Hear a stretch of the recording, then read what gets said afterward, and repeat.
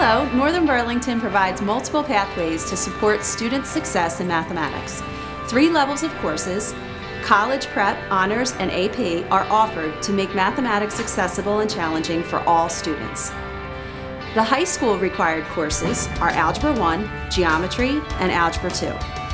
The multiple entry points for Algebra 1 offer students an opportunity to maximize their mathematical potential. Start with the goal in mind and work backwards. If the goal is to take AP Calculus BC, our highest level of mathematics, there are multiple pathways to achieve this goal, despite your algebra entry point. For example, students who entered Algebra 1 as 7th graders can take one course each year to advance to AP Calculus BC. Grade 8 algebra students can also advance to AP Calculus BC by doubling up one year with Algebra 2 and Geometry or by taking a summer course such as Pre-Calculus or Calculus via the option 2 that was discussed earlier.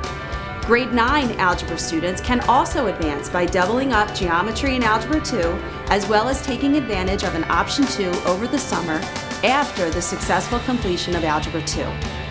If calculus may not be your goal, Northern Burlington also provides a variety of fourth year courses such as Advanced Algebra and Trigonometry and AP Statistics.